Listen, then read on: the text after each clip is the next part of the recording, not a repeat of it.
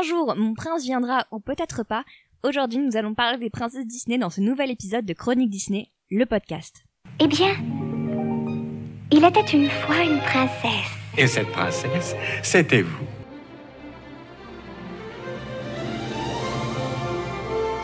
I only hope that we never lose sight of one thing that it was all started by a mouse. Chronique Disney, le podcast. Et bienvenue dans ce nouvel épisode de Chronique Disney, le podcast consacré ce mois-ci à l'image de la femme à travers les célèbres héroïnes Disney. C'est un épisode spécial que nous faisons en l'honneur notamment de la Journée internationale des droits des femmes. C'est pourquoi nous avons décidé cette fois de changer légèrement le format du podcast. Nous ne sommes plus un groupe de Chronique Disney, mais nous ne sommes que deux et nous accueillons aujourd'hui Florence. Bonjour Victoire. Donc Florence, toi tu es philosophe, c'est ça? Oui. Et, Et tu- j'enseigne la philosophie. Et tu as écrit euh, un dossier sur Chronique Disney Oui. consacré à l'évolution de l'image des femmes justement euh, chez dans les films d'animation. Oui, le statut euh, de la femme à travers les héroïnes Disney et l'émancipation de la femme. Donc c'est un article très complet, mais aujourd'hui nous allons parler uniquement des princesses Disney. Et quand je dis princesses Disney, je parle aujourd'hui des personnages rattachés à la licence commerciale princesse Disney, donc à savoir Blanche-Neige, Cendrillon, Aurore, Ariel, Belle, Jasmine, Pocahontas, Mulan, Tiana, Réponse et Mérida. Et nous allons aussi également euh, l'étendre à Vaiana, car euh, elle n'a pas encore été intronisée princesse Disney, mais cela ne saurait tarder. Nous ne parlerons donc pas d'Eilonui, Kida, et autres princesses officielles, et on ne parlera pas non plus des personnages féminins tels qu'Esmeralda ou encore Megara, parce qu'on n'a qu'une heure pour cet épisode, mais on espère sincèrement qu'elles feront l'objet d'un futur épisode, parce qu'elles ont aussi beaucoup d'intérêt. Et quant à Anna et Elsa, elles feront également l'objet d'un futur épisode à l'occasion de la Reine des Neiges 2, on reviendra plus en détail sur elles. Donc entrons dans le vif du sujet. On va d'abord commencer par parler des princesses de Walt, donc c'est-à-dire Blanche-Neige, Cendrillon et Aurore, qui ont été les trois premières princesses créées du vivant de Walt Disney, rappelons-le, et notamment la première de toutes et pas des moindres puisqu'il s'agit du premier long métrage d'animation Disney qui est Blanche-Neige et les sept nains. C'est l'histoire d'une princesse qui est euh, réduite au rang de servante dans son château parce que sa belle-mère, la reine, est jalouse d'elle. Sauf qu'un jour, la reine se rend compte que la Blanche-Neige est plus belle qu'elle et du coup décide de la faire tuer. Blanche-Neige s'enfuit à travers les bois et se retrouve dans la maison des sept nains. Pour toi, Blanche-Neige, on l'a dit, c'est une princesse, une vraie princesse de sang royal, et pourtant elle ne vit pas selon sa condition. Comment Blanche-Neige réagit à cette, euh, cette situation? Bah, Blanche-Neige réagit comme elle peut, c'est-à-dire que c'est une jeune adolescente, euh, elle sort de l'enfance, donc avec les outils euh, qu'elle peut avoir, elle subit une situation tout en ayant des rêves d'une autre vie. Euh, elle rêve d'amour, elle rêve d'un prince, mais elle ne sait pas comment sortir de cette impasse.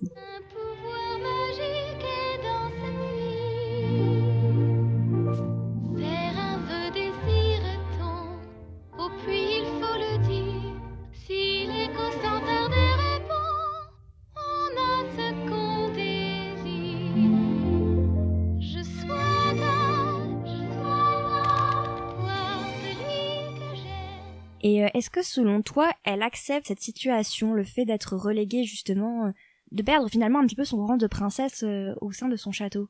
Ça ne semble pas significatif dans le, dans le film d'animation de Disney.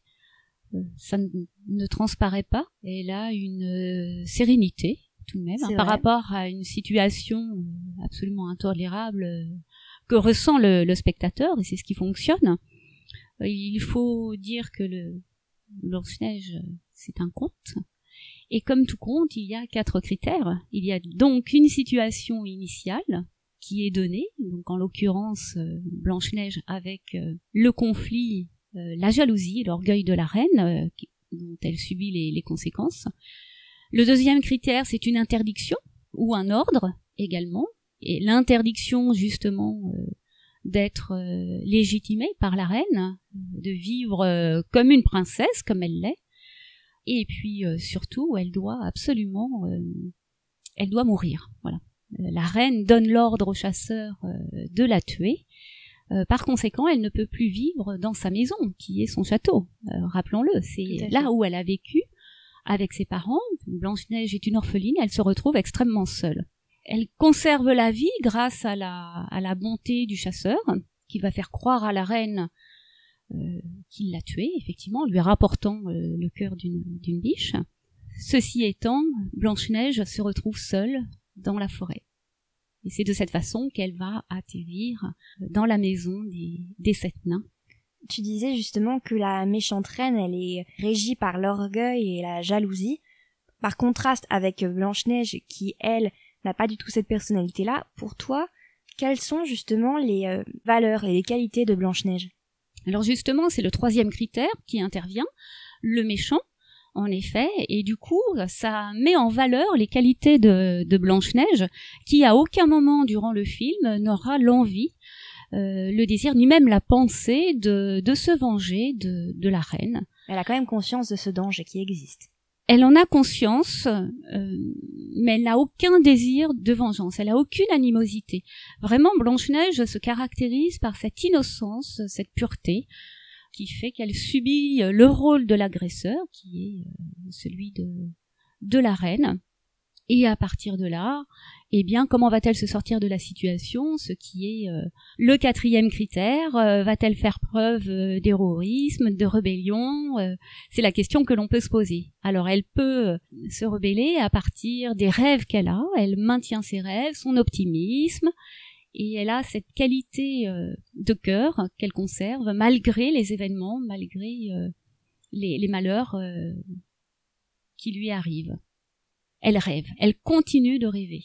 Il y a quelque chose aujourd'hui qui est beaucoup reproché à Blanche-Neige, c'est le fait que elle soit un petit peu présentée comme euh, la ménagère par excellence qui fait le ménage et la cuisine. Je m'occuperai de tout.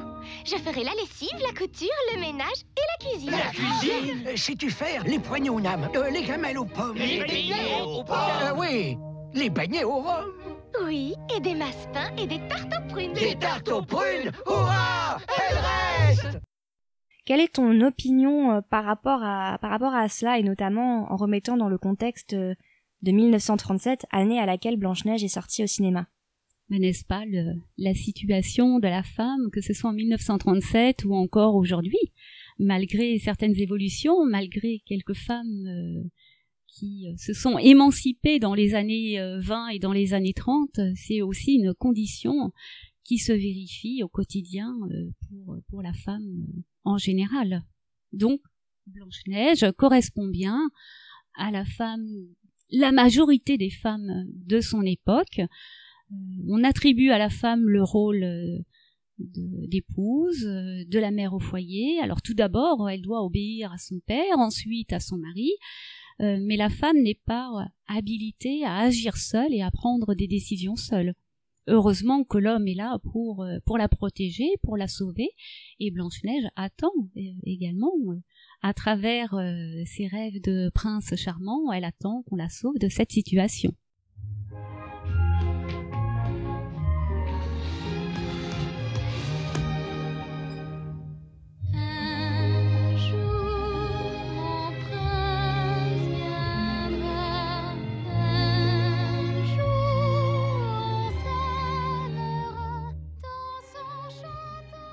Disais aussi que Blanche-Neige était seule, mais finalement, euh, Blanche-Neige est souvent entourée d'animaux, un élément fondateur dans la personnalité des princesses Disney et notamment des trois princesses de Walt, c'est cette relation avec les animaux qui finalement un peu compense euh, l'absence euh, de personnes de leur âge peut-être? Oui, complètement. Oui. Ça permet également de connaître leurs pensées.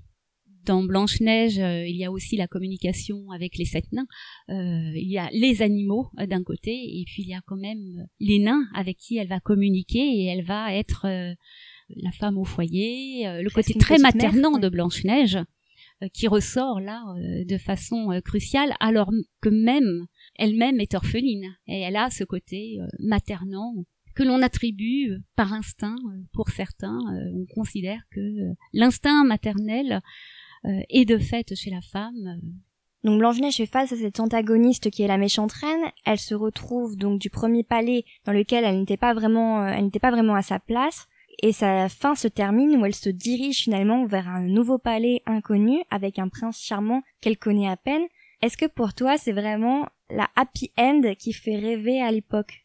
Ça rassure cette fin. Ça rassure parce que quels que soient les événements et l'adversité auxquels on doit faire face, euh, on y arrive. Voilà, la bonne fin euh, permet de conserver l'espoir et de se dire bon, on peut se battre, quels que soient les méchants euh, que nous rencontrerons sur notre route. Faisons-nous confiance, nous y arriverons. Euh, C'est ce que traduit cette fin du, happy end. Surtout avec le château très lumineux vers lequel elle se dirige avec son prince. Ça, ça- ça donne de l'espoir, ça donne de l'espoir, oui. Tout à fait. Blanche-Neige a eu énormément de succès à sa sortie, mais après cela, comme il y a eu la Seconde Guerre mondiale, il y a eu un petit peu un- une période, pas de flottement, mais euh, compliquée pour les studios Disney. D'ailleurs, nous reparlerons euh, dans un futur épisode de, des studios Disney à l'époque de la Seconde Guerre mondiale. C'est euh, vers la fin des années 40 que les studios Disney remettent en chantier un film de princesse qui sera Cendrillon, qui sort en 1950. Donc on part finalement du même postulat que Blanche-Neige, c'est adapté d'un conte. C'est une jeune fille qui vit comme une domestique au sein de sa propre maison, même si elle n'est pas une princesse de naissance. Ses parents sont morts, donc elle est également orpheline. Elle vit sous la tutelle de sa méchante belle-mère et de ses odieuses demi-sœurs qui euh, la traitent extrêmement mal. Mais pourtant, Cendrillon paraît un peu plus rebelle que Blanche-Neige. Pour toi, euh, en quoi euh, Cendrillon est-elle différente de Blanche-Neige par rapport à cette situation? Alors ce film euh, vient 13 ans après Blanche-Neige. C'est issu d'un conte euh, au IXe siècle euh, en Chine, euh, notamment. hein, La, la Disney reprend euh, le conte de Perrault. Et Cendrillon est différente de Blanche-Neige dans le sens où elle fait preuve d'ironie, elle est caustique et, et elle est moqueuse également. Elle est moqueuse quand elle entend euh, chanter et ou jouer au piano Anastasie et, et Javotte et c'est extrêmement drôle cette scène effectivement euh, rend les choses euh, très chaleureuses. En tant que spectateur on- il y a une forme de, de plaisir également à, à voir que Cendrillon réagit euh, en se moquant. Elle se positionne. Elle subit toujours une situation comme Blanche-Neige mais elle a ce regard, une prise de conscience de, de ce que sont euh, Anastasie, Javotte et de ce que lui fait subir Lady Tremaine. C'est ça, elle a l'air un petit peu plus de se rendre compte de l'injustice quelque part de sa situation par rapport à Blanche-Neige qui est beaucoup plus sereine, comme tu disais, par rapport à ça. Également, ce qui est différent entre Cendrillon et Blanche-Neige, c'est l'apparence. Comment tu pourrais les comparer? Elles sont toutes les deux apprêtées quand même entre Blanche-Neige et Cendrillon. Elles restent apprêtées. Tout à Euh, L'apparence est des plus sophistiquées. Alors que la, la femme des années 50, euh, elle a cette propension à aller vers le naturel. Euh, Mhm. on reste avec Blanche-Neige et Cendrillon euh, dans une certaine sophistication. Ce qui change euh, par rapport à Blanche-Neige, c'est que Cendrillon est véritablement active parce qu'elle veut se rendre au bal et elle fait absolument tout. On le voit à travers la confection de, de la robe. Elle fait absolument tout pour y aller. C'est-à dire Mhm. qu'elle a un désir et elle le met en œuvre par tous fait. les moyens. Et Cendrillon aussi, on voit qu'elle est un peu plus peut-être adulte que Blanche-Neige. Déjà, ne serait-ce que par euh, que par son physique, on voit que c'est un peu plus une jeune femme que Blanche-Neige qui était très enfantine, et par le fait qu'elle est euh, plus active par rapport à ses, ses rêves, qu'elle essaie vraiment plus de réaliser. Oh, cette horloge Quel rabat-joie Oui, je t'ai entendu. Debout, lève-toi, Cendrillon. Au travail Même l'horloge me donne des ordres. Mais jamais personne ne pourra m'interdire de rêver. Et peut-être qu'un jour, mon rêve deviendra vrai. Alors si on entend par adulte une certaine maturité par rapport euh, à tout ce que l'on vient de dire, euh, les moqueries, le fait qu'elle soit très active pour euh, réussir à aller au bal, euh, oui, mais les contes sont très évasifs sur euh, Mhm. sur l'âge des des héroïnes. Donc là, on reste dans dans ce flou et on on ne peut que spéculer, oui. Et pourtant, Cendrillon, comme Blanche-Neige, sa situation se dénoue grâce euh, au prince charmant. Mais j'ai envie de dire, avant que la situation ne se dénoue, il y a tout de même un moment de d'un profond désespoir quand Anastasie et Javotte, folles de jalousie de voir que Cendrillon a confectionné sa robe de ses propres mains, avec les souris. malgré, oui, bien sûr, mais ça elles ne le savent pas, et malgré euh, toutes les tâches que lui a données à, à faire Lady Tremaine pour l'empêcher de, de se rendre à ce fameux bal, Cendrillon connaît un moment de profond désespoir. Mhm. Et ça, c'est quelque chose d'extrêmement important. Comment on se relève de ce profond désespoir? C'est ça, parce qu'à un moment, elle dit euh, je ne crois plus en rien. Voilà. Et c'est très, elle le très dit, elle le verbalise. Plus rien n'est permis au, au niveau d'un optimisme euh, ou euh, d'une solution. Il y a un moment donné où l'être humain est absolument terrassé. Il se dit non, là je n'y arriverai pas. Là le coup est trop dur. Elle a fait face à énormément de choses, mais là la tristesse la dévaste absolument. Elle n'a plus aucune joie de vivre. Quand soudain intervient la bonne fée qui lui permet d'aller à ce fameux bal. C'est fini. Non, la vie est trop injuste. Je ne crois plus à rien. Oh, rien, ma chérie. Oh, allons, allons, tu ne penses pas ce que tu dis. Oh, mais si. Tu racontes des sottises. Si tu avais perdu tout espoir, je ne serais pas là. Et pourtant, regarde. Et donc Cendrillon, elle va au bal, mais finalement, euh, ce n'était pas forcément dans le dans le but de rencontrer un prince, mais elle le rencontre quand même. On sait ce qui se passe. Elle passe la soirée avec lui, elle danse, elle s'enfuit à minuit pour ne pas euh, se retrouver euh, démunie devant tout le monde pour rentrer à temps. Oui, parce qu'elle s'enfuit euh, comme elle aimerait rester. Comme Oui. elle aimerait rester, Elle mais elle ne s'est même pas rendue compte puisque la condition de sa transformation, c'était euh, de partir absolument euh, à minuit. Elle n'a pas vu l'heure et elle part précipitamment, ne laissant que son soulier de verre au prince. Que penses-tu du fait que ce soit par ce soulier de verre qui finalement du coup est rattaché au physique de Cendrillon, la taille de son pied Qu'est-ce que tu penses du fait que ce soit cet élément-là qui permette au prince de reconnaître finalement Cendrillon et pas euh, pas autre chose? Alors en Chine, euh, on, on bandait euh, il y a quelques siècles les pieds des jeunes filles parce que c'était un critère de beauté. C'était extrêmement douloureux. Donc les jeunes filles chinoises très tôt avaient les pieds bandés. C'était au prix de, ex- de, de très grandes souffrances pour satisfaire euh, les hommes. Voilà, pour satisfaire euh, les critères esthétiques euh, des hommes. Autre chose, avoir les pieds bandés, donc des tout petits pieds, ne permet pas d'avoir une démarche extrêmement souple, dynamique, et, et ça confine la femme à un lieu au Un lieu foyer, restreint, un lieu extrêmement restreint, limité. Là, le soulier de le soulier de verre est euh, tellement euh, étroit euh, que seule une, une finesse de pied, et on le voit bien, puisque quand le lorsque le prince recherchera à qui appartient ce deuxième soulier, il aura beaucoup de difficultés à trouver Cendrillon, puisque ce soulier ne- est trop petit pour toutes les femmes du royaume. Mais qu'est-ce que cela dit du prince, le fait qu'il cherche une femme sur ce critère? Et qu'est-ce que cela dit aussi de ce qu'il attend finalement de sa princesse, de Cendrillon? C'est la femme qu'il a eue dans ses bras. Donc le soulier, c'est le, le seul objet qu'il retient, qu'il soit petit ou grand, c'était la femme qu'il a tenue dans ses bras durant toute cette soirée. Donc voilà, il est tombé amoureux de, de cette jeune femme et il veut la retrouver. Et le soulier est un moyen de retrouver cette jeune femme. Et donc là, on est sur une rencontre très éphémère, donc euh, une seule soirée qui suffit du coup à la demande en mariage, ce qui nous permet de faire la transition avec euh, La Belle au Bois dormant, qui est sortie plusieurs années après, en 1959. Ici, du coup, c'est l'histoire d'une princesse de naissance de nouveau comme Blanche-Neige, qui est née dans un château qui avait tout pour être heureuse dès sa naissance. D'ailleurs, elle a eu de très beaux dons à la naissance de par ses fées marraines, la beauté et le fait de bien chanter. Sauf que une méchante fée maléfique qui n'avait pas été euh, invitée au baptême maudit la princesse à mourir le jour de ses 16 ans en se piquant le doigt à un fuseau. Aurore, du coup, la princesse se retrouve dans la forêt cachée par les trois bonnes fées en attendant que cette malédiction passe, en espérant pouvoir y échapper.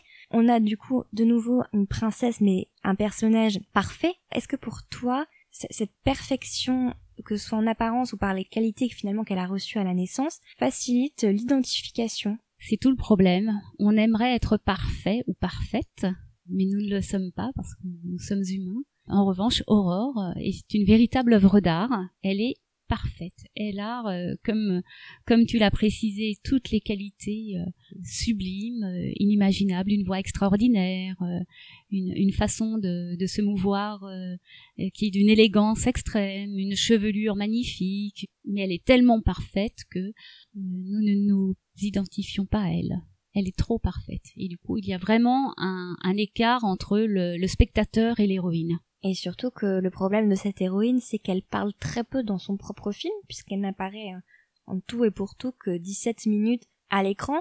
Il travers- faudra, oui, Ouais. attendre 26 minutes avant qu'Aurore dise enfin quelque chose en dehors des deux petites phrases euh, qu'elle va prononcer à sa sortie du cottage, oui. Et justement, pour toi, du coup, quelle est la personnalité d'Aurore à travers ce qui transparaît On peut, euh, enfin, en nous remémorant la scène qui a lieu dans les bois le jour de ses 16 ans, à partir des, de ces trois fées qui la protègent hein, depuis euh, cette malédiction, on peut avoir une idée de ce qu'est euh, Aurore, qui parle également aux animaux, euh, qui n'est pas dupe hein, du fait que les fées l'éloignent de la maison puisqu'elles sont en train de lui confectionner laborieusement un gâteau d'anniversaire. C'est vrai qu'elle montre, elle a un peu un sourire narquois. Elle n'est pas dupe. Elle n'est pas dupe. euh, elle se comporte comme euh, elle leur dit, euh, Mm. avez-vous organisé un complot euh? C'est ça, c'est ça. Elle a ces petites remarques que peuvent avoir les, les adolescentes de cet âge-là. Bon, elle est, euh, ceci dit, elle va s'éloigner de cette maison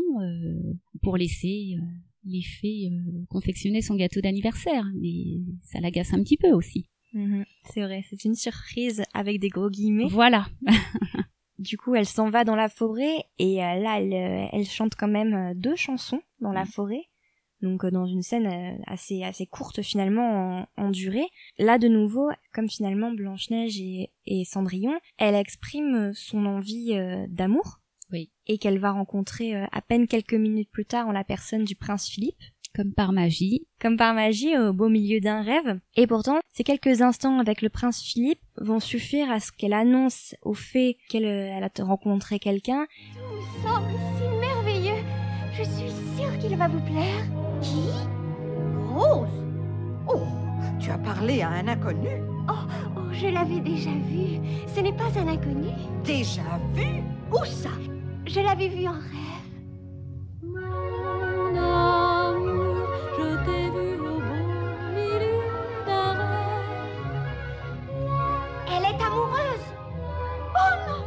Terrible. Est-ce que ce n'est pas aussi un problème de ces premières princesses Disney? Est-ce que ce n'est pas trop rapide euh, avec leur prince Que penses-tu de cette alchimie justement entre les princesses et leurs princes à cette époque? Donc je répondrai avant tout euh, par une question. Est-ce que Victoire, tu crois au coup de foudre? Ou pas? Non. Voilà, crois pas. hein, c'est, c'est, ça confirme euh, ce que je, je pensais, euh, parce que toutes ces princesses, effectivement, traduisent euh, alors le coup de foudre euh, qu'elles ont, ont- ont- qu'elles ont pour l'homme qu'elles ont rencontré. Et en même temps, euh, on peut euh, imaginer sans aucun problème que c'est euh, le premier homme qu'elles rencontrent. Le hasard faisant bien les choses pour euh, ces héroïnes Disney, c'est très bien pour elles. Euh, on est dans le conte, hein. C'est vrai. Rappelons-le que là, nous sommes vraiment dans le conte. Ce sont hein. des adolescentes, ce sont leurs premiers Oui. émois finalement Oui. quelque part.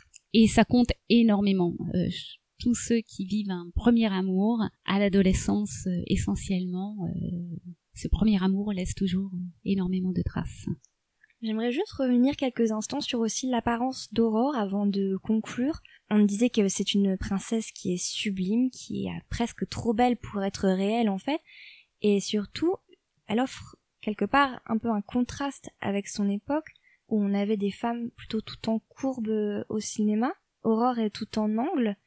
Est-ce que tu penses que il est difficile de s'y attacher pas seulement parce qu'elle est trop parfaite, mais peut-être parce qu'elle ne correspondait pas au- à ce que les gens voyaient à l'époque? La femme des années, euh, allez, on est fin des années 50 hein, et 60, euh, c'est la femme qui qui devient active, qui a besoin de réduire le temps de sa préparation. Donc Mm. euh, ça se ça se voit à travers les coiffures. Il faut qu'elle puisse vraiment être à l'aise dans ses vêtements, les robes que l'on pouvait porter euh, assez encombrantes, euh, extrêmement élégantes certes, mais ne correspondent pas vraiment aux années qui s'annoncent, hein, surtout que s'annoncent les années 60 et on assiste à une euh, véritable transformation du corps de la femme, mais qui a déjà eu lieu dans les années 20. hein. On le voit bien à travers des couturiers, de très grands couturiers. Ouais, Christian Dior, Chanel, c'est cette époque-là aussi euh, où finalement le, Oui. le, co- enfin, le corps de les femmes s'est émancipé aussi grâce, euh, grâce à tout ça.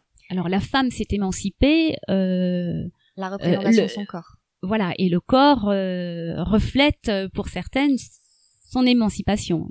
Ça m'offre aussi une très belle transition pour la suite parce que euh, après La Belle au bois dormant, il n'y a pas eu de film de princesse Disney pendant 30 ans. parce que d'abord il y a eu la, la mort de, de Walt Disney en 1966 qui a été un coup dur énorme pour les studios, qui a posé des problèmes à la fois structurels, à la fois artistiques. Le renouveau de Disney s'est fait du coup à la fin des années 80 et notamment grâce au film La Petite Sirène sorti en 1989. Donc La Petite Sirène, c'est l'histoire d'une sirène, comme le nom l'indique, qui s'appelle Ariel, qui est une jeune euh, sirène de 16 ans qui vit sous l'océan et qui rêve pourtant de vivre sur la terre ferme et d'avoir des jambes et de ne plus être une sirène. Et donc on parlait des corps et Ariel, c'est quand même aussi la première princesse à montrer son corps. À, à quel point Ariel montre-t-elle l'évolution de l'époque depuis Aurore? Alors attention, euh, Ariel euh, n'est pas humaine, c'est une sirène. Et du coup, pour toi, ça explique tout? Pas du tout, mais euh, n'oublions pas ça. Oui, c'est vrai. Même si Ariel souhaite par amour, voilà, là aussi, hein, une, elle a vu un, un homme euh, et elle a eu le coup de foudre, hein, de nouveau. Elle souhaite devenir humaine, mais avant tout, c'est une sirène. Elle vit dans la mer, et ce qui euh, explique euh, le fait qu'elle soit beaucoup plus dénudée. Si tu entends par là euh, le corps de la femme Oui, dans le sens d'être dénudée, oui, par rapport à Blanche-Neige, Cendrillon et Aurore, le corps est différent, mais c'est une sirène avant tout. Mais sa coiffure aussi est très différente des précédentes héroïnes. La chevelure est toujours aussi importante comme l'était euh, celle de Blanche-Neige. Mais elle n'a plus de mise de mise en pli, pardon, et surtout elle est rousse. C'est, elle a une cheve- chevelure flamboyante, Oui. alors que je crois que dans les premiers concept art, Ariel était censée être blonde. Oui, Là, comme a- euh, le conte d'Anderson euh, l'avait euh, décrite. Et pour toi, qu'est-ce que ça véhicule comme message, le fait qu'elle ait justement une chevelure euh, plus que rousse, presque rouge? Enfin, Mais il faut qu'elle soit flamboyante. Hein. Euh, C'est avant tout aussi pour des raisons techniques, parce que euh, une chevelure alors que l'on est sous l'océan, comment on la fait mouvoir cette chevelure? Ce qui a posé bon nombre de problèmes aux animateurs de Disney. hein? Auparavant, euh, enfin, le roux n'était pas évident comme, comme décision à prendre. Et il y a eu plusieurs tentatives pour savoir euh, ce qui rendrait comme chevelure sous les sous l'océan, parce que une chevelure et une coiffure quand les cheveux sont censés être mouillés, euh, ça donne euh, un effet euh, moins reluisant qu'une chevelure Oui, bien sûr. comme celle que nous avons vue avec Blanche-Neige, Cendrillon et Aurore. Donc il a fallu trouver d'autres stratagèmes pour rendre cette chevelure absolument extraordinaire. Tout à fait. Et elle l'est. Euh, ce qu'il faut retenir par rapport à Ariel, contrairement aux autres héroïnes, alors elle est orpheline par De sa rapport à sa mère, en revanche elle a son père, et son père c'est quand même pas rien, c'est euh, Triton, hein, le dieu de la mer, donc c'est quelqu'un d'extrêmement important et puissant. Euh, par ailleurs, alors qu'elle a d'autres sœurs, c'est la préférée de Triton, C'est la petite dernière. mais elle est préférée, elle le sait, et comme elle le dit, elle a tout pour être heureuse. Elle a Mhm. tout pour être heureuse, et pourtant, elle rêve d'évasion, elle rêve d'un ailleurs. Donc on peut se poser la question, pourquoi Euh, Ariel est une jeune adolescente euh, espiègle, euh, amis. aventureuse, curieuse de la vie, mais elle n'est pas satisfaite de sa vie alors qu'elle le reconnaît elle-même, elle a tout pour être heureuse. Et alors là, il y a euh, Marianne Chaillan qui a écrit Ils vécurent philosophes et firent beaucoup d'heureux, qui a une, une analyse à savoir que Ariel fait penser euh, à Madame Bovary. C'est drôle comme comparaison. Son problème, c'est qu'elle ne parvient pas à se satisfaire de la réalité, qui pourtant, cette réalité la comble. Et elle cherche un ailleurs. Voilà le problème de que c'est d'Ariel. lié aussi à son, son jeune âge, parce que Ariel, comme on l'a dit, c'est une adolescente, elle n'a que 16 ans, son père, même s'il l'adore de toutes ses forces, il a quand même un sacré caractère, mine de rien, euh, Triton. Il, Comme euh, Ariel. Comme Ariel, exactement, et d'ailleurs, c'est, c'est les premières scènes un petit peu de fritage qu'on voit dans, dans un film de princesse entre un père et sa fille. Oh, tu es encore allé voir le monde interdit, n'est-ce pas? Réponds Je n'ai rien fait de mal. Je viens d'avoir 16 ans. Je ne suis plus une petite Je t'interdis de me parler sur ce temps, tu entends Et aussi longtemps que tu vivras sous mon océan, tu m'obéiras Mais laissez-moi vous expliquer. Il n'y a rien à expliquer. Et si jamais j'apprends que tu es remonté à la surface, tu auras affaire à moi. Est-ce que c'est clair? On est absolument dans le conflit père et fille. Les animateurs euh, Disney se sont absolument régalés parce que ils ont pris, euh, comme pour beaucoup des films d'animation, ils ont pris euh, l'exemple euh, du conflit entre euh, le père et, la sœur. Donc ils ont pu s'inspirer de leurs expériences personnelles qui les concernaient non pas en tant que parents mais en tant que frères pour élaborer Ariel en adolescente en conflit avec son père. Donc Ariel, comme tu disais aussi, euh, elle rêve d'ailleurs. Donc c'est d'ailleurs un hymne emblématique qui est Partir là-bas. Ou parmi ces gens, version québécoise, s'il y a des Canadiens parmi nous qui nous écoutent, c'est une chanson aussi qui est un tournant dans le la construction des princesses Disney parce que c'est la première fois qu'il y a vraiment un I want song comme on l'appelle. Et ça, ça vient de Broadway, c'est ça? Alors avec Ariel, on, on passe euh, à la génération euh, comédie musicale, Broadway, euh, contrairement aux premières héroïnes Disney. On était dans cette forme classique avec les ballets, l'opéra, la, la, danse classique, puisque les animatrices, les héroïnes ont été faites à partir de comédiennes qui, qui ont permis justement l'animation de Blanche-Neige, de Cendrillon et d'Aurore. Donc à partir d'Ariel, on change, en effet. Ariel est une ado rebelle, mais aussi c'est une princesse avec beaucoup de défauts. Bien sûr, elle est très curieuse, elle est, elle a envie de connaître le monde, elle est très ouverte d'esprit, mais elle est également têtue, elle a, elle est colérique, comme tu le disais, elle a quand même un, son petit caractère, elle fait des erreurs, et c'est aussi une des premières fois qu'une princesse Disney fait des erreurs, se trompe. Bah, les animateurs ont, pris conscience hein, de, des erreurs qui avaient été faites euh, avec les héroïnes précédentes. Des héroïnes trop parfaites, ça ne fonctionne pas. Voilà, il n'y a pas d'osmose avec le, le, spectateur. Et du coup, ils, ils se sont euh, rendus compte qu'il fallait donner des défauts aux héroïnes. Toutes héroïnes qu'elles sont, il leur faut euh, des défauts pour les rendre attachantes. Et c'est ce qu'ils ont fait, ils ont réussi avec Ariel, puisqu'elle a le, le, caractère que peut avoir euh, une adolescente sans aucun problème. Une autre différence d'Ariel également par rapport aux princesses précédentes, c'est que son objectif premier du coup n'était pas de trouver l'amour, elle le trouve finalement par la force des choses, mais à la base elle voulait quand même vivre sur Terre avant même de rencontrer le prince le prince Eric. Bah, elle veut vivre euh, là-bas, elle veut vivre donc ailleurs. Euh, mais elle se marie quand même à la fin. Et cet ailleurs, effectivement, la conduit euh, fatalement ou inévitablement au mariage aussi, malgré tout. Oui, on reste dans euh, quelque chose de très classique. Elle rencontre un homme, tout les sépare, que ce soit euh, l'espèce, voilà, c'est un humain, elle est sirène, euh, son père refuse absolument, hein, il voit Eric comme un danger, donc il ne veut pas accepter qu'Ariel aime un être humain. Donc tout les sépare et dans ces cas-là, évidemment, ça attise le désir encore plus, hein, comme toute, toute transgression attire euh, et attise le désir. C'est vrai. Justement, pour faire la transition, encore une fois, il y a une relation très conflictuelle entre Ariel et son père, mais ce qu'on ne trouve pas dans le euh, film de princesse suivant qui est La Belle et la Bête, sorti en 1991. Donc cette fois, l'histoire, c'est une jeune fille belle qui vit dans un village dans lequel euh, elle s'ennuie aussi euh, profondément finalement comme Ariel, elle ne se sent pas à sa place, elle ne se sent pas acceptée, et le jour où son père se fait enlever dans un château par une bête monstrueuse, Belle se sacrifie et décide de prendre la place de son père pour le sauver, et une, une romance va se mettre en place entre euh, elle et cette bête. Du coup, on peut dire qu'il y a quelque part aussi un parallèle entre Belle et Ariel, parce qu'il y a cette même situation de base, le fait qu'elles ont tout pour être heureuses, et pourtant, de nouveau, Belle veut s'échapper de cette condition-là.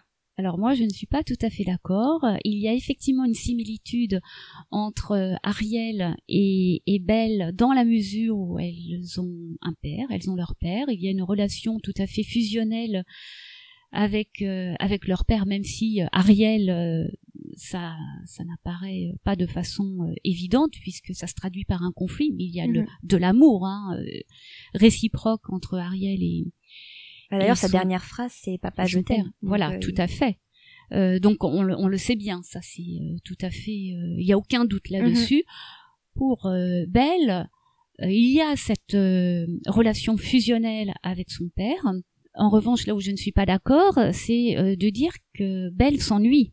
Non, elle ne s'ennuie absolument pas. Elle, euh, si elle s'ennuie par rapport au fait qu'elle ne trouve pas son compte auprès des villageois, où il n'y a pas d'échange possible, euh, dans la mesure où euh, elle a un autre niveau, elle a une vie intérieure extrêmement riche, donc il y a un décalage et un contraste entre ces villageois et villageoises, villageoises qui, ne pensent qu'à leur toilette ou à être la préférée de Gaston.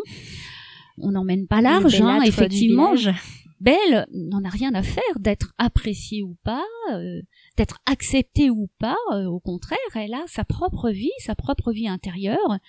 Et la belle et la bête, c'est tout de même la l'histoire de la transfiguration de l'individu, son évolution et l'impact que l'amour peut générer chez tout être humain euh, qui le décide. Ce qui est important chez, chez Belle, c'est vraiment de souligner le fait qu'elle a déjà à la base cette vie intérieure et on peut euh, on peut dire que la relation fusionnelle avec son père, qui est un savant, le, le père est aussi considéré comme un, un savant très fantasque, euh, qui est moqué par, par les villageois également, mais ils n'en ont rien à faire parce qu'ils se, ils sont, ils ont une vie intellectuelle et spirituelle tellement riche que, voilà, ils mènent leur vie, ils sont passionnés, euh, et oui, elle rêve, en tout cas, elle rêve à travers les livres qui la nourrissent considérablement.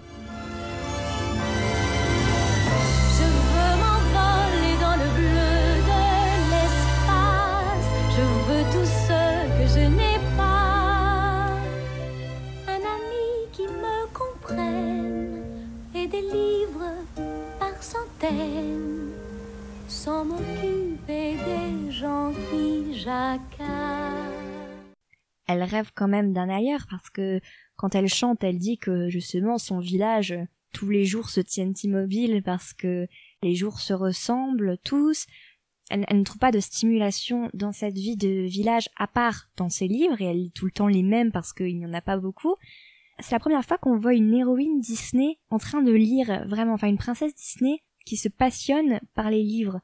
Pour toi, qu'est-ce que ça reflète? En quoi, en quoi justement ça montre une différence aussi, une rupture par rapport aux, précédentes?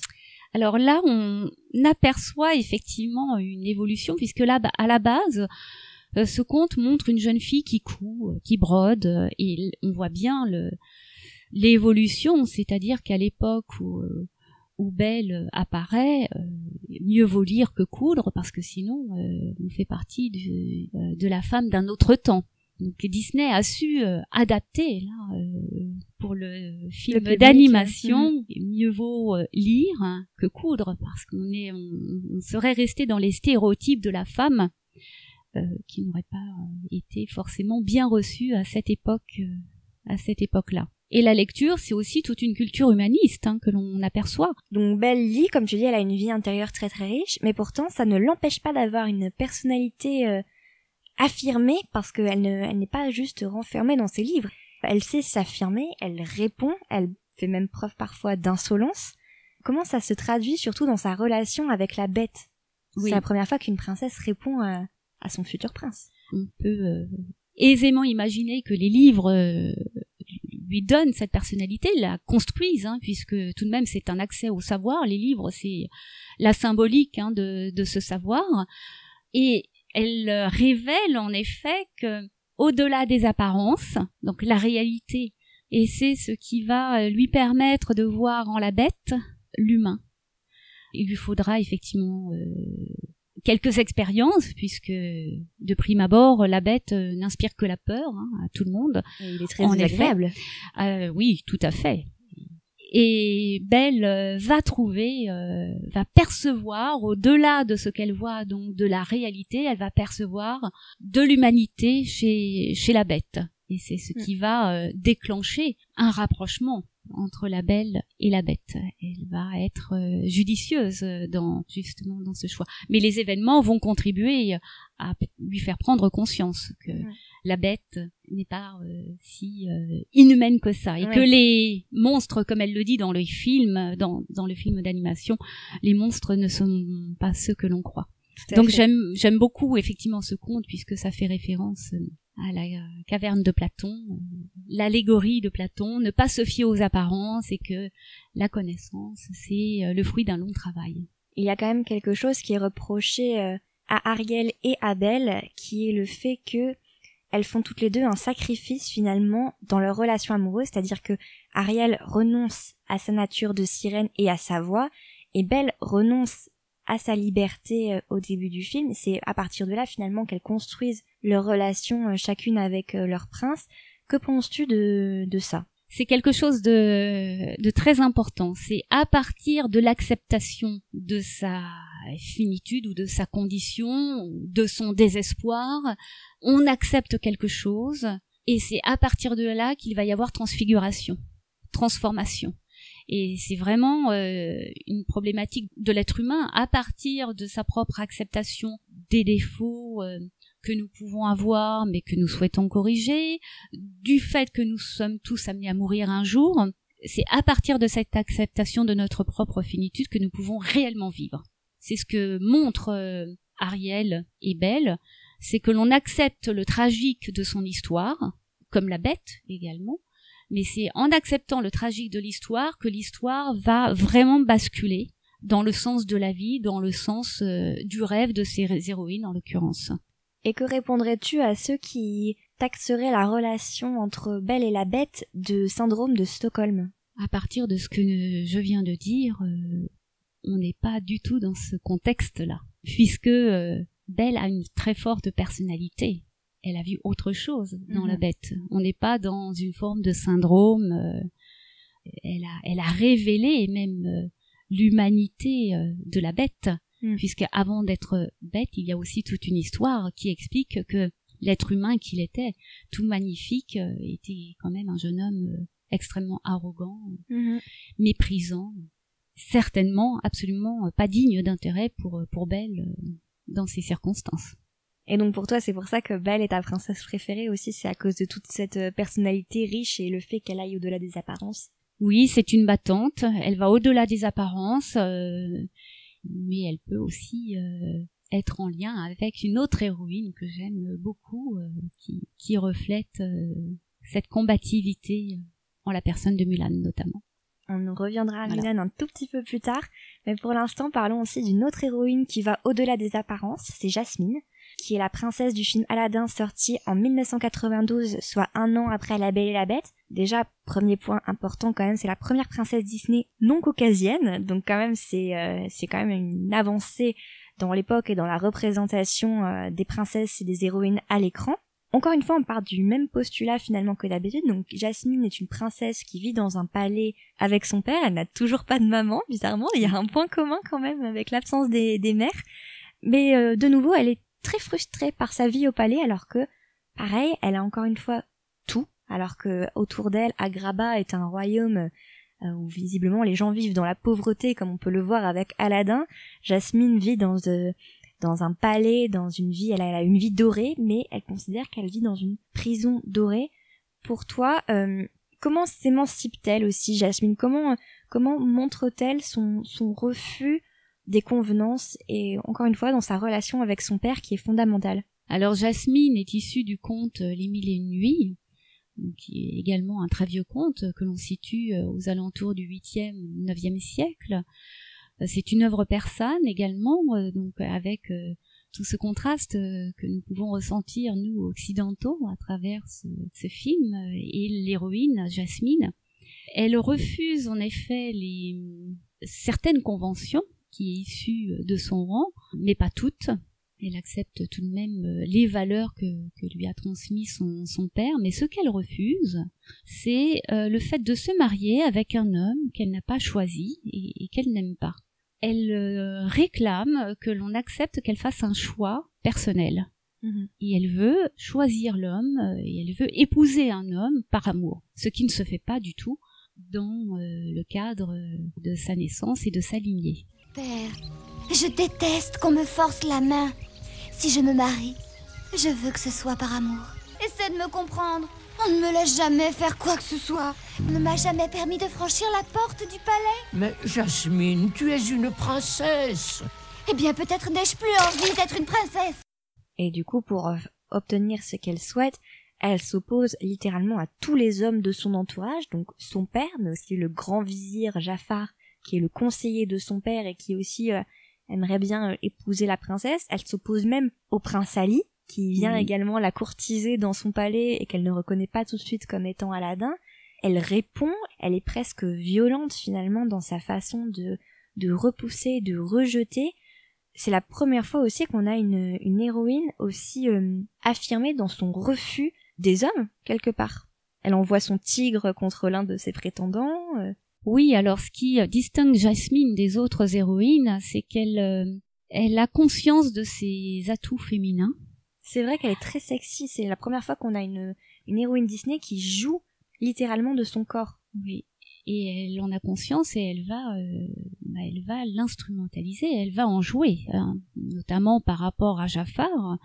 Eh bien, elle va utiliser ses charmes pour euh, arriver à ses fins. Donc, elle n'hésite pas à manipuler à partir de ses charmes, de ses atouts féminins. Elle est confrontée à un dilemme véritablement parce qu'elle ne veut pas décevoir son père et en même temps elle ne veut pas se décevoir elle-même, Mm. à savoir épouser euh, un homme qui lui est euh, prédestiné. Donc, comment va-t-elle se sortir de cette impasse? C'est encore une fois un dilemme que, que nous trace ce, ce conte. Comment l'être humain va-t-il euh, échapper ou dépasser cette problématique? Et en même temps, elle a aussi envie, en plus d'épouser quelqu'un de son choix, elle veut aussi découvrir un nouveau monde parce qu'elle l'explique qu'elle est prisonnière de son propre palais et finalement de, de ces conventions-là. Elle ne peut pas euh, voyager comme elle le souhaite, elle ne peut même pas sortir comme elle le souhaite. Est-ce que finalement, sa relation avec Aladdin ou même sa relation avec le monde, est-ce que ce n'est pas euh, sa façon de se rebeller aussi? De se rebeller, euh, oui, mais elle le fait déjà en, en, affirmant son choix personnel, euh, effectivement. Et par ailleurs, Aladdin, c'est un roturier. Donc non seulement elle affirme son choix de pouvoir épouser un homme qu'elle aime, mais en plus, euh, il se trouve que l'homme qu'elle aime, euh, ce n'est pas un prince. Donc Plus ça va à l'encontre de, toutes les valeurs euh, que lui a euh, inculquées son, son père. Et de nouveau, c'est complètement euh, différent des autres princesses parce que Ariel s'enfuit, mais pour épouser un prince. Belle n'était pas princesse, mais finalement la bête se révèle être un prince, donc euh, tout s'arrange. Ja- Jasmine, c'est la première fois qu'une princesse s'intéresse à quelqu'un qui est bien en dessous de sa condition. Et finalement, euh, c'est une des princesses les plus tolérantes euh, jusqu'ici, quelque part. Tolérante, je ne sais pas. Ouverte euh, d'esprit. elle euh, fait basculer quelques idées reçues, en effet, Mhm. euh, mais c'est l'amour qui, qui est son moteur. Oui. Hein, c'est pas euh, l'idée n'est pas de modifier ses valeurs. Oui. son moteur à elle, c'est vraiment l'amour. Et sinon, elle euh, elle accepte le fait de se marier, elle accepte d'avoir un mari, d'avoir des enfants, mais il faut que ce soit euh, l'homme qu'elle a choisi. Tout à fait. Après Jasmine, il n'y a pas eu de princesse Disney, mais vraiment princesse techniquement avant 2009, mais il y a eu deux héroïnes entre-temps dans les années 90 qui ont été tellement méritantes quelque part par leur valeur qu'elles ont acquis le statut de princesse Disney dans la licence commerciale toujours. Ces héroïnes, ce sont Pocahontas, héroïne du film éponyme sorti en 1995, et Mulan, le film, cette fois, est sorti en 1998, je crois. De nouveau, des héroïnes non caucasiennes. Donc, on a Mulan, bien sûr, qui est chinoise, et Pocahontas, qui est amérindienne. Quelles sont les valeurs de ces héroïnes qui, qui font qu'elles peuvent être désignées comme des princesses? Qu'est-ce qui les rattache aux autres princesses malgré l'absence euh, par Pocahontas qui est fille du chef évidemment, mais Mulan n'est pas du tout princesse. Qu'est-ce qui font que ces deux héroïnes pourtant elles, elles méritent entre guillemets cette, cette appellation? Alors pour Pocahontas, euh, elle est quand même issue d'une d'une lignée euh, Oui, bien sûr. que n'a pas Mulan. Hein, Mhm. Mulan est, est la fille du peuple, ce qui euh, leur permet d'être euh, des héroïnes. euh, C'est leur exploit tout de même, hein, et notamment chez Mulan, euh, où elle va pouvoir euh, montrer qu'elle est extrêmement courageuse, comme Pocahontas, et qu'elle a de l'ambition, et qu'elle réalise cette ambition euh, avec un sacrifice euh, qui est quand même extraordinaire. Alors distinguons Pocahontas de, de Mulan un instant. Euh, Pocahontas est, est une femme euh, qui a réellement existé, hein, contrairement à Mulan qui est issue d'un vieux conte hein, aussi. Mais Pocahontas, c'est un, c'est une histoire réelle, et puis qui montre euh, au XVIIe siècle l'Europe est à la découverte du nouveau monde et c'est la confrontation de, de deux mondes. Euh, deux mondes également que tout oppose. Donc euh, avec euh, Ariel, on avait le monde des humains et le monde de l'océan, des sirènes. Là, nous avons le monde des occidentaux, les blancs qui dominent d'un côté et Pocahontas, fille d'un chef indien et une histoire d'amour va naître entre John Smith et Pocahontas. Pocahontas d'ailleurs est une héroïne qui doit du coup être confrontée au racisme, euh, notamment de, des- de la part des hommes de John Smith, tous les Anglais qui sont venus euh, accoster en Virginie pour prendre la terre. Et pourtant, Pocahontas, malgré toute cette haine, ce déferlement de haine et aussi l'incompréhension de la part de son propre peuple, elle euh, fait preuve d'une d'une énorme force d'esprit par rapport à cela, d'un courage et euh, de tolérance jusqu'à tomber amoureuse. Si tu veux tuer cet homme, tu devras me tuer d'abord. Ma fille, écarte-toi. Je refuse C'est l'homme que j'ai choisi. Regarde-les tous. Voilà où conduit le chemin de la haine et de la violence. Voici le chemin que je veux suivre, père. À toi de choisir le tien. Il faut euh, souligner tout de même le côté spirituel du, du film, c'est-à-dire que l'arbre grand-mère feuillage est Mm. quelque chose de très important dans, chez Pocahontas et dans la constitution de sa personnalité, de son identité. C'est ce qui lui donne cette confiance en elle et l'affirmation qu'elle n'a pas à accepter euh, les humiliations que veulent lui faire supporter euh, certaines, euh, certains êtres humains. Donc euh, c'est ce que montre le, le film, en effet. Il y a une confiance euh, en soi qui euh, contribue à, à se construire. Tout à fait, la preuve c'est qu'elle est aussi capable de s'opposer à son père, qui comme le père de Jasmine veut la marier euh, plus ou moins de force à Kokwom, qui est le, le chef guerrier du village, mais Pocahontas, euh, elle refuse parce que euh, elle a aussi d'autres envies pour elle-même, tout comme Jasmine, comme le montre sa chanson euh, Au détour de la rivière, mais surtout aussi elle a un, un profond, une profonde curiosité pour le reste du monde et un profond respect de la nature et euh, ça contribue aussi peut-être à sa, sa force intérieure, comme tu le disais, sa confiance en soi, c'est le fait de sentir qu'elle fait peut-être partie d'un tout qui dépasse. euh, Oui, alors là, on revient, euh, vraiment, on fait un grand retour euh, en philosophie, euh, puisque ce sont les, les philosophes de l'Antiquité qui considèrent le monde comme un tout, euh, ce fameux cosmos, et l'homme est en harmonie avec la nature. Et Pocahontas montre bien l'importance justement de ne pas rompre cet équilibre. Et pourtant, c'est ce qui est exactement en train de se passer dans Pocahontas, hein, Mhm. avec la découverte du Nouveau Monde. Or, il est essentiel pour l'homme, et c'est ce que précisaient les, penseurs de l'Antiquité, de respecter cette harmonie, la nature et l'homme. Les deux forment un tout. Et cette harmonie va être rompue à partir du XVIIe siècle, hein, notamment avec euh, René Descartes, euh, maître et possesseur de la nature. L'être humain devient euh, le dominant, enfin certain, hein, encore une fois, et on voit bien les, ravages que cela fait encore aujourd'hui, puisque c'est un problème extrêmement actuel. L'un des moteurs de Pocahontas aussi, c'est son amour pour John Smith, qui va quelque part la convaincre que euh, les étrangers ne sont pas tous mauvais et qu'une harmonie est possible. Ce qu'on ne trouve pas, par contre, dans le film Mulan, puisque Mulan, finalement, ce n'est pas une histoire d'amour qui va la faire changer, c'est son amour pour son père qui va la pousser à se dépasser. Mulan aussi, du coup, elle passe une grande partie de son film travestie en homme, puisqu'elle prend la place de son père dans l'armée chinoise pour combattre les Huns.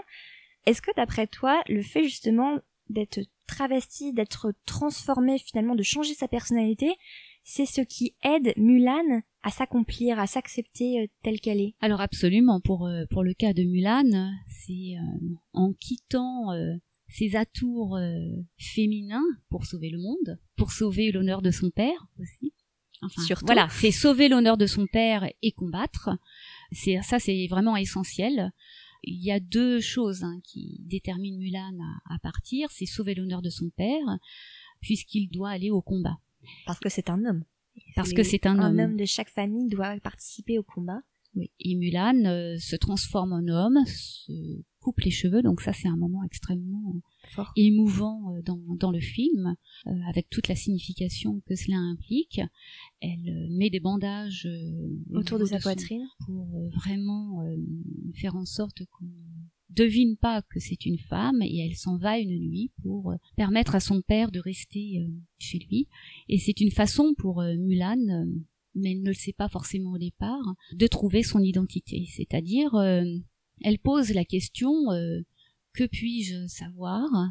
Euh, qui suis-je? Et, que dois-je faire en fait? Mm. C'est vraiment ça, ce type de question qu'elle se pose. Et elle va à l'aventure, voilà, elle va au combat. Mm. Ce qui est très important, c'est le fait de se faire passer pour un homme. On est là dans une transgression. Et c'était, selon les époques, sévèrement punie par, euh, par la loi. La force de Mulan, c'est donc d'abord de s'adapter à ce qu'elle pense être le comportement des hommes, mais c'est surtout de montrer, plus que de sauver la Chine, elle montre aussi à toute l'armée et à tous les hommes qu'une femme peut faire autant qu'un homme, voire mieux, et même qu'un homme n'a pas à avoir honte d'être ami ou de se comporter comme, euh, entre guillemets, comme une femme. Enfin, il y a un message de tolérance par rapport à l'identité euh, sexuelle et etc., qui est véhiculé par Mulan, qui montre que ça, les valeurs dépassent finalement euh, tout ça. Alors je pense que ce message euh, se fait à l'insu de Mulan, parce que ce, ah n'est pas son objectif. Hein. Elle se comporte comme une guerrière. Encore une fois, c'est effectivement pour sauver l'honneur de, de, son père et lui éviter de partir à la guerre, mais euh, elle le fait vraiment par amour et elle se comporte comme une guerrière, mais elle n'a pas de revendication féministe à travers cette histoire, hein, son histoire. En revanche, elle va se trouver. Elle va effectivement euh, trouver qui elle est à partir de ce long parcours, qui est quand même extrêmement difficile. Hein. Elle affronte des, des forces euh, dans un contexte tout à fait nouveau, euh, qui est tout à fait féroce mais elle le fait, elle y va, donc elle montre euh, vraiment une très grande vertu qui est le, courage. C'est en cela aussi quelque part qu'elle a été du coup euh, déclarée par la suite euh, princesse Disney tellement elle est courageuse. Et d'ailleurs elle partait finalement d'un postulat assez similaire, elle était dans un contexte dans un contexte d'une vie euh, qu'on lui imposait plus ou moins, elle devait se marier et finalement elle prend en main son destin, elle a un destin finalement différent. C'est aussi une, héroïne oui qui euh, qui en impose et qui est extrêmement euh, inspirante pour les jeunes filles qui regardent qui regardent Mulan et pour les, les autres en général. On ne rencontre pas une fille comme ça à chaque dynastie. Après donc Pocahontas et Mulan, il y a il y a de nouveau une espèce de vide pour les studios Disney au début des années 2000 et il faudra attendre du coup 2009 pour avoir enfin de nouveau un film, un vrai film de princesse avec La princesse et la grenouille. Donc là, on part de nouveau euh, d'une héroïne euh, cette fois la première princesse euh, noire, qui est Tiana, qui n'est pas princesse à la base du tout, qui vit à la Nouvelle-Orléans dans les années 1920 avec, avec ses parents. Et son rêve, c'est d'ouvrir son propre restaurant. Bon, elle va connaître pas mal de péripéties en chemin, mais surtout, le, premier truc exceptionnel qui différencie Tiana des autres, c'est que c'est la première princesse qui travaille. Voilà, c'est la première princesse qui qui travaille sans être domestique. Disons, bien sûr, bien sûr, le travail euh, des autres, c'est un travail, mais là, elle, travaille de son plein gré, quoi. Elle a des ambitions professionnelles extraordinaires, donc euh, en cela, on peut dire qu'elle incarne bien les valeurs de des femmes de son époque et euh, elle s'impose une discipline euh, quotidienne pour parvenir à réaliser son rêve qui est celui de de monter un restaurant voilà d'ouvrir un restaurant. Et elle plaisante pas elle ne pense qu'au travail ce qui peut faire penser à certaines femmes. Euh, Ma chérie, tu feras sûrement de cet endroit un restaurant fabuleux. Mais c'est de la folie de travailler autant. Mais je ne peux pas abandonner si près du but. Tout ce que je veux prouver, c'est que papa ne s'est pas donné autant de mal pour rien. Diana, ton père n'a peut-être pas eu le restaurant qu'il voulait, mais il a eu beaucoup mieux. Il a eu notre amour. Et je te souhaite la même chose, ma chérie.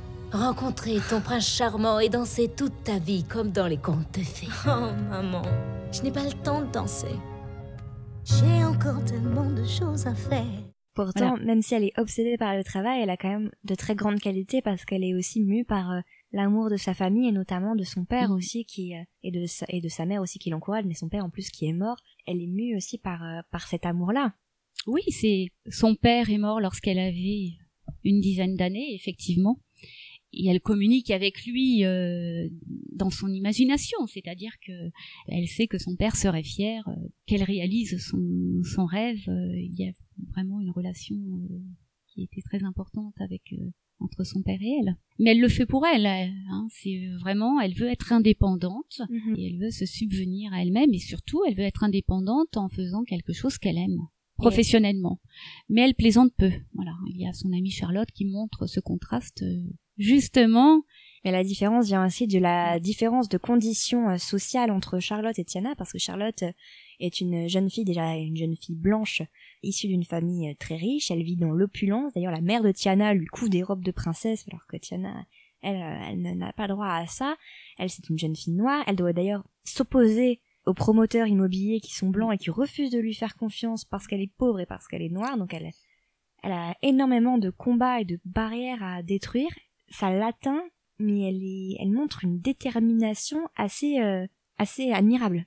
Alors assez admirable, mais j'ai envie de dire euh, que euh, sa passion et sa volonté de réussir l'empêche de voir certaines choses. Là encore, euh, elle va rencontrer un prince, un vrai, Une grenouille? mais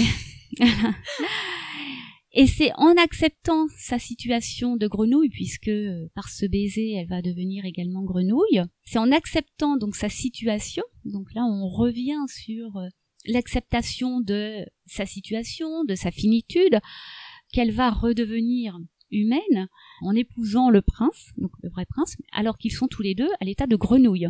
C'est par cette acceptation qu'elle va parvenir à se transcender là encore, parce que Tiana au début, euh, elle est elle est pas très drôle, hein, euh, et elle est obnubilée, voire euh, jusqu'à l'obsession, par son travail et sa réussite. Et du coup, elle ne parvient plus à être curieuse de ce qui l'entoure et à s'émerveiller de ce qui l'entoure, contrairement à son amie Charlotte. Bah, justement, du coup, elle fait un petit peu un travail inverse par rapport aux autres princesses Disney, c'est-à-dire que Tiana, elle, veut être indépendante, elle a un objectif euh, qui est très clair depuis le départ. Son, but, n'est pas de trouver l'amour, mais bien d'ouvrir son restaurant et de réaliser son rêve. Et en fait, à travers le film, finalement, c'est l'inverse qui se produit. Elle doit apprendre à s'amuser et à, et à se rendre compte que l'amour est assez important. Qu'est-ce que tu penses de ce message? Parce que finalement, à la fin, elle, quelque part, elle est prête à épouser Navine alors qu'elle est une grenouille. Elle pense qu'elle va rester une grenouille toute sa vie. Elle a renoncé à, son rêve, quelque part, par amour. Alors est-ce qu'elle a renoncé à son rêve, c'est-à-dire que au fil de ses aventures, son rêve s'est transformé Ça montre, hein, le message montre qu'en étant, euh, en montrant une volonté à faire preuve d'un travail absolument acharné, en menant tous ses efforts pour parvenir à un but jusqu'à l'obsession, eh bien ça va à l'encontre des valeurs, hum- ses propres valeurs humaines. Et elle ne s'en rend pas compte dans un premier temps, c'est à travers des aventures qui vont, qui vont lui arriver qu'elle va se rendre compte que son véritable, son véritable rêve n'est pas forcément celui de réussir professionnellement. Non pas qu'il ne faille pas réussir professionnellement, mais la réussite, c'est aussi l'amour, les sentiments à travers une personne. Les, les êtres humains ne sont pas faits pour vivre seuls. Et elle, elle euh, s'acheminait vers une vie quand même assez euh, solitaire euh, sentimentalement. Et elle travaillait très dur pour ouvrir son restaurant, mais à la fin, c'est quand même grâce à son mariage avec le prince Navin qu'elle réussit à obtenir ce fameux restaurant. De même, qu'est-ce que tu penses du fait que finalement, heureusement qu'à la fin, le prince est là pour l'aider à accomplir ce rêve pour lequel elle a travaillé si dur toutes ces années? Oui, elle a travaillé dans une direction en s'imaginant que c'était la bonne, et elle se rend compte que en, en déviant euh, un, un peu, eh bien, c'est de cette façon qu'elle va véritablement finaliser son rêve. Enfin, à un point euh, qu'elle ne pouvait même pas imaginer, parce qu'elle voyait dans, dans cette réussite professionnelle, euh, c'est plutôt quelque chose à court terme. Qu'est-ce qu'il euh, qu'est-ce qu'il serait advenu de Tiana s'il ne lui était pas arrivé toutes ces aventures? N'aurait-elle pas déprimé N'aurait-elle pas fait, comme on dit aujourd'hui, un burn-out? Parce que certes, réussir professionnellement, c'est une chose, mais n'oublions pas également la réussite sur le plan personnel. Elle épouse pas n'importe qui. Elle est... Oui, mais elle l'a épousé en étant une grenouille, donc il n'y avait pas du tout d'ambition sociale à ce niveau-là. Au contraire, elle a totalement euh, revu ses ambitions de réussite Mhm. sociale à la baisse. Euh, ça ne se jouait pas euh, du reste euh, sur ce niveau-là. Et c'est en acceptant le fait qu'elle ne pouvait plus devenir quelqu'un socialement comme elle l'entendait, comme c'était Mhm. prévu dans ses rêves, qu'elle va parvenir à avoir les financements tout comme pour son restaurant et un mariage avec un prince. tout comme le prince Navin qui comme euh, comme la bête à l'époque de la Belle et la Bête était à la base un, un jeune prince très arrogant Mm. euh, qui ne pensait qu'à s'amuser et finalement qui va se rendre compte aussi euh, de la vraie vie entre guillemets et des responsabilités et et qui va devenir mature grâce à Tiana donc qui va être transformé par l'amour donc euh, il y a finalement une évolution euh, des deux côtés que ce soit au niveau de la princesse ou du prince Grâce à la femme, grâce à la femme que voilà. ce soit Belle ou Tiana. Exactement. Ce qui nous emmène ensuite à Réponse, qui est la première princesse en animation 3D de Disney.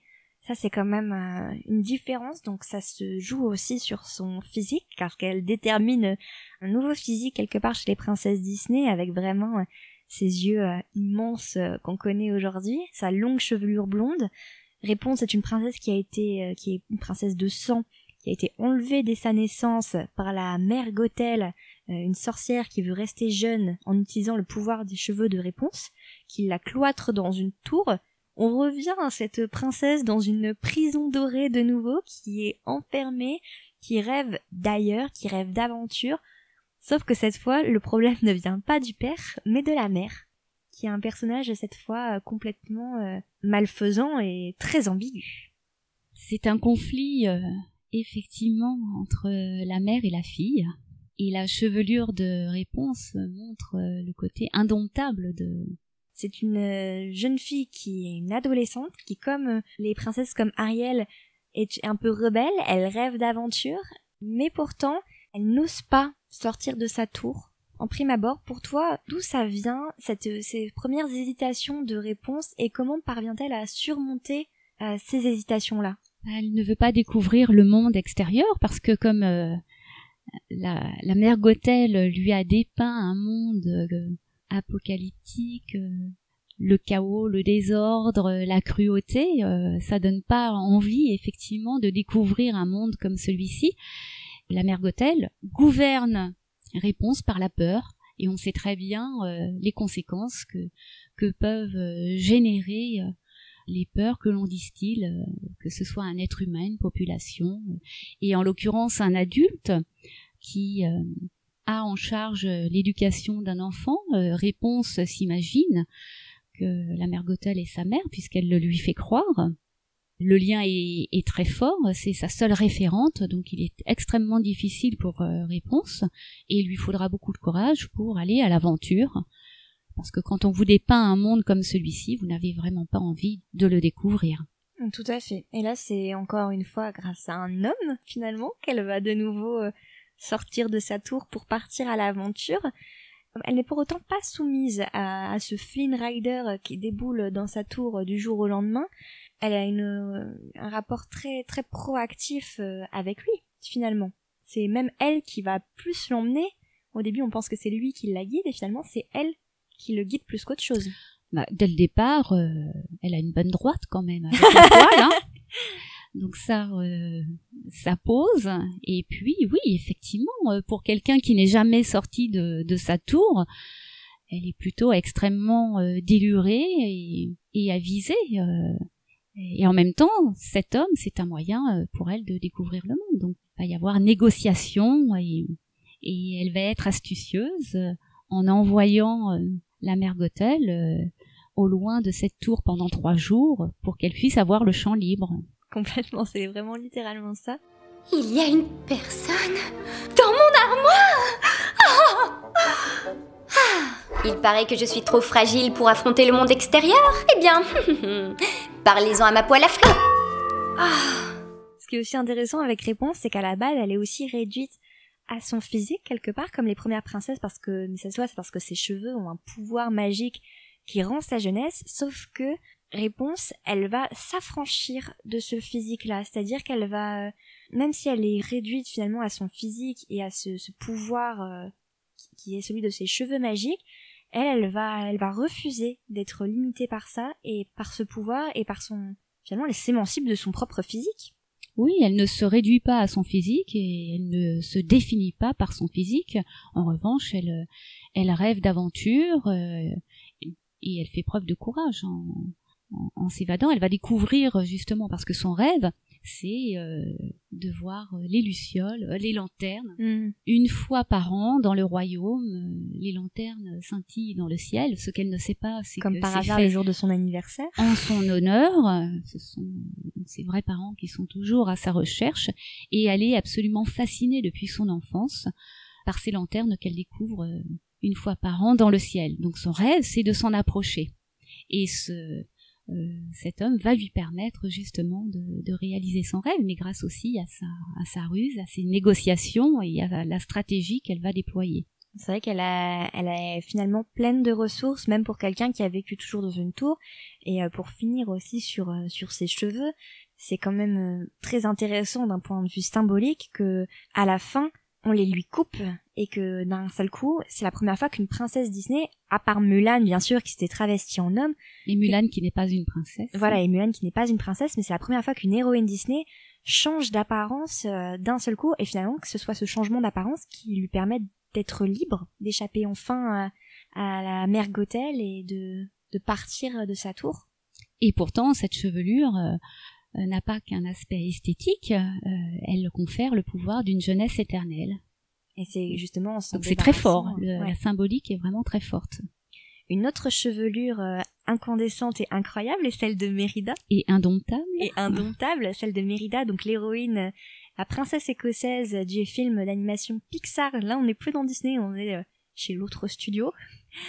Donc euh, cette fois, on est chez Mérida, qui elle aussi a une vie euh, plus ou moins parfaite dans son château en Écosse, sauf que non, pas si parfaite, parce que Mérida, elle, euh, elle a plein de contraintes, elle doit coudre, elle doit être la jeune fille euh, parfaite comme l'imposent ses parents, elle doit épouser quelqu'un, sauf que Mérida, elle, elle ne rêve que d'une chose, c'est de courir les cheveux au vent sur son cheval en faisant du tir à l'arc. Et euh, le film, pour le coup, porte très bien son nom, car euh, tout le film, c'est sur euh, sa rébellion contre, contre ses parents, contre la société, contre tout le monde, en fait. Contre la tradition, elle se rebelle, voilà, en étant brave aussi, euh, ce que dévoilera le, le film.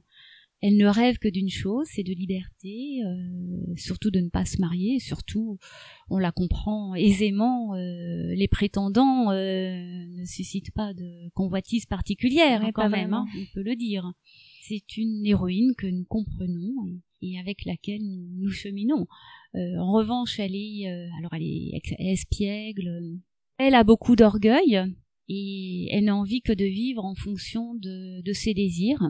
Et elle va, euh, elle préfère la nature, la forêt, les allers-retours avec son cheval sont, sont un moyen pour nous, spectateurs, de montrer le côté accéléré de ce qu'elle entend de, de la vie.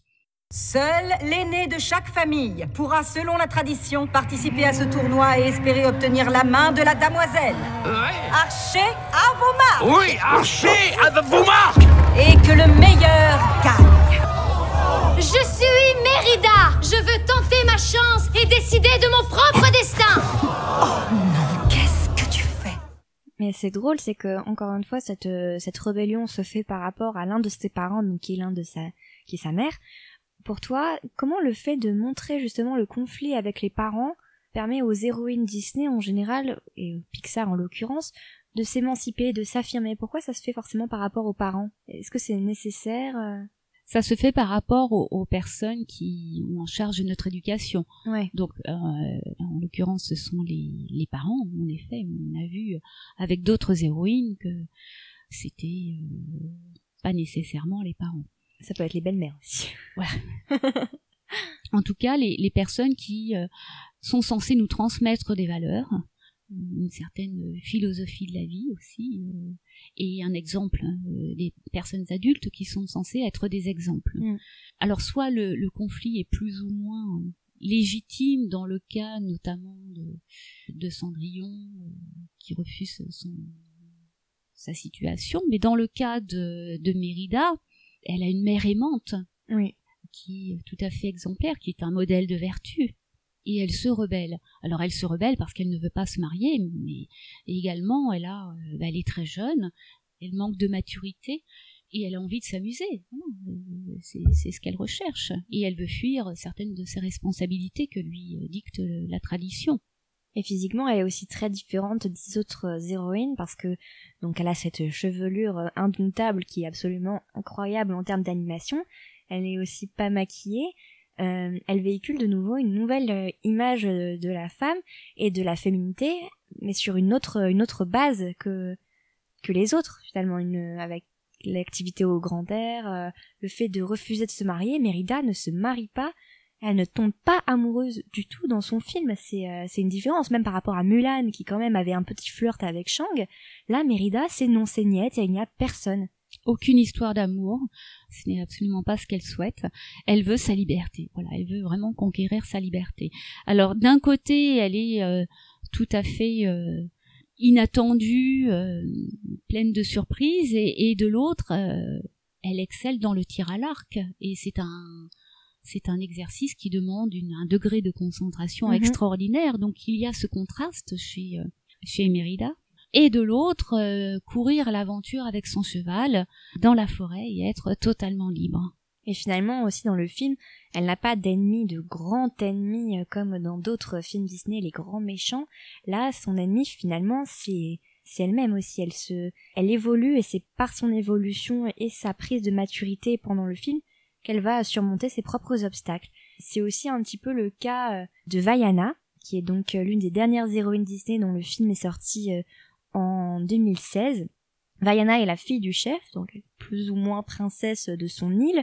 Elle vit sur son île, son île parfaite, où tout le monde vit heureux, jusqu'à ce que, en fait, ben, la nourriture vienne à manquer. Et pour Vaiana, la seule solution, c'est de partir sur un bateau pour aller voir ce qui se passe sur les autres îles, ce que refuse catégoriquement son père. Et là, euh, Vaiana va partir, purement et simplement, elle va tout lâcher, mais pas avec un homme, personne n'est venu la chercher, elle part en solo, sur son bateau, euh, à la recherche d'une solution pour sauver son île.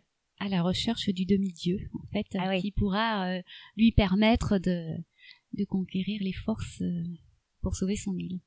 Mais elle est proactive du coup, elle n'attend pas que quelqu'un vienne la chercher, elle s'en va seule, affronter quand même la, mer déchaînée, euh, l'océan, même si euh, elle rêvait, euh, c'est ce dont elle a rêvé toute sa vie, de partir sur la mer. D'ailleurs, elle va même pousser Maui à venir là avec elle, parce qu'à la base, il ne veut pas. Oui, elle se sent investie d'une mission, effectivement, sauver son île, et puis elle est très attirée par, par l'océan. Là encore, il y a le père qui lui interdit d'aller au-delà de la barrière de corail. Et elle n'a qu'une envie, c'est d'aller au-delà de cette euh, barrière de, corail. Et en plus, elle montre aussi une, volonté qui est très intéressante, c'est que non seulement elle a envie de partir, mais pour autant elle adore son île. Il y a comme ça une division pour euh, Vaiana qui est perdue entre l'amour des siens et sa volonté d'aller ailleurs. Et elle va finalement imposer, enfin pas imposer, mais euh, elle va montrer une nouvelle direction à son peuple. C'est elle qui va être à l'origine d'une nouvelle forme de vie. Elle va inciter tout le monde finalement à suivre une nouvelle voie. Oui, il faudra en passer par euh, des épreuves, du courage Ouais. également, euh, beaucoup d'initiatives, hein, Mhm. puisqu'elle euh, elle met en œuvre quelque chose et encore une fois à l'encontre de son père, et elle va euh, s'affirmer contre les valeurs de son père, mais elle le fait quand même. Et c'est une, c'est une meneuse qui prend des décisions de chef. Et également, j'aimerais juste aussi revenir sur son apparence, enfin. Donc, Vaiana est une princesse, euh, une princesse des îles, donc une princesse polynésienne. Mais c'est surtout ce qui a été très souligné à la sortie du film, c'était que c'était la première fois qu'on avait une princesse euh, avec un corps, entre guillemets, plus proche de la normale, qui est beaucoup moins fine que, que les précédentes. Cette fois, euh, Vaiana a, vraiment des, des courbes, des bras qui ne ressemblent pas à des allumettes. C'est c'est aussi euh, c'est aussi un progrès quelque part qu'a fait Disney dans la représentation euh, d'un corps plus réaliste. C'est, elle n'est pas tout à fait jeune fille, elle sort de l'enfance, euh, elle est sans complexe euh, et elle a d'autres voilà le, la prise de conscience de sa beauté est, ailleurs. C'est une beauté intérieure. C'est une beauté intérieure et d'ailleurs elle elle n'essaie pas de séduire qui que ce soit. Elle n'a pas envie. Euh, elle, elle n'en parle même pas en fait. À aucun moment il n'est question de la marier parce que même même Mérida il y avait ce, ce, ce problème du mariage qu'on voulait lui imposer. Vaiana, ce n'est même pas, ce n'est même pas la question euh, dans son film, c'est même pas abordé finalement. C'est absolument pas ce qui se pose dans, dans le film. C'est vraiment l'aspect spirituel euh, de la quête de, de Vaiana. C'est ça, elle fait une quête non seulement sur l'océan, mais c'est aussi une quête intérieure à la recherche de ce, ce qu'elle désire et de la réconciliation entre ses envies d'ailleurs et Et puis l'attirance que l'on a pour quelque chose sans forcément euh, comprendre cette attirance. Et c'est ce qui se passe pour euh, Vaiana. Elle est euh, depuis toujours attirée par l'océan. Elle ne sait pas pourquoi, c'est une attirance euh, absolument viscérale. Ça lui est interdit et pourtant elle reste attirée. Donc il y a un côté très mystérieux dans, dans, dans cette relation. Donc on a vu que depuis 1937 jusque euh, Vaiana de Blanche-Neige à Vaiana, il y a eu une énorme évolution dans la personnalité des princesses. Donc à la base, euh, c'est des, des des personnalités hein, qui étaient un peu plus euh, sous le coup parfois des événements jusqu'à jusqu'à Mérida, jusqu'à Vaiana qui prennent en main leur destin et qui finalement ont des quêtes plus comme tu le disais spirituelles que des objectifs d'amour, etc. Pour ma dernière question, est-ce que pour autant il est difficile aujourd'hui, plus difficile, tu penses, pour une nouvelle génération, du coup, de, de s'identifier, euh, d'apprécier les, les anciennes princesses. Est-ce que tu penses que, je vais le dire un petit peu crûment, mais est-ce que tu penses que du coup, c'est les premières princesses avec leurs objectifs et leur vie sont plus ou moins obsolètes aujourd'hui pour les petites filles? Quelles sont les valeurs qu'on peut tirer de, de l'ensemble des princesses Disney, quelle que soit l'époque? Ce qui perdure à travers toutes ces premières héroïnes Disney, c'est vraiment euh, la trame du conte. C'est que chaque individu, et donc l'enfant, puisque les contes s'adressent euh, à l'enfant aussi, avant tout, euh, c'est de lui montrer un chemin pour faire face à l'adversité, pour faire face euh, aux méchants, pour faire face à la vie et pour comprendre aussi cette vie et se comprendre lui-même et faire connaissance avec lui-même. Donc le rôle des contes, c'est vraiment ça. Euh, comment se connaître soi-même, comment devenir soi quand on a l'impression que tout nous anéantit. L'enfance, c'est aussi euh, ce- celui qui ne souhaite euh, aucune contrainte, qui doit aussi subir une éducation, donc l'éducation de ses parents, donc il doit apprendre à grandir et à se socialiser. Se socialiser, c'est accepter un certain nombre de contraintes. Et ça ne se fait pas sans mal, sans souffrance. Et puis après, euh, il y a l'expérience de la vie qui le mène à, à s'affirmer ou pas, à subir ou pas, euh, et les deux, parce que on est fait de, nuances. Euh, les choix que, que l'on a évoqués à travers ces héroïnes Disney montrent bien que on peut être très orgueilleux, euh, espiègle, on a envie de jouer, mais on n'a pas forcément conscience des conséquences de son acte. hein. On n'a pas forcément très bien souligné par rapport à Rebelle, mais euh, elle, elle a orchestré, organisé quelque chose à son insu. Qui va Euh, la dépasser Ça va totalement euh, la ravager, hein, puisque transformer euh, sa mère en ours et elle, euh, elle ne va pas euh, pouvoir, euh, pense-t-elle, euh, rompre cette malédiction. Euh, elle ne s'est pas rendu compte des conséquences de son acte. Donc ces héroïnes montrent bien que le côté euh, espiègle, orgueilleux, capricieux, euh, instable, euh, inhérent à leur âge, euh, euh, eh bien qu'il est difficile d'apprendre que nos actes, nos paroles peuvent avoir des conséquences et des conséquences qui laissent des traces.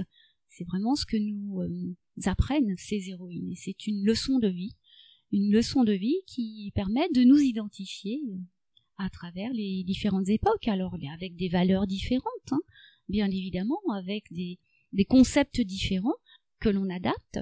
Les héroïnes Disney montrent hein, à travers euh, notamment euh, Tiana euh, les valeurs professionnelles. C'est important que les femmes puissent devenir indépendantes, puissent gagner leur vie sans euh, être sous la tutelle de leur mari. Donc là, il y a une réelle évolution à travers ces, ces personnages Disney, mais il est aussi important de, de mettre en évidence euh, des valeurs euh, d'amour, euh, des valeurs de spiritualité Mhm. euh, et non pas uniquement matérialistes. C'est vraiment aussi ce qu'il est important de retenir et on le voit bien euh, avec euh, Vaiana, avec euh, également Rebelle et puis et puis d'autres. euh, que oublier euh, le côté euh, uniquement euh, je veux assouvir mes désirs Mhm. euh, ne nous rend pas forcément heureux.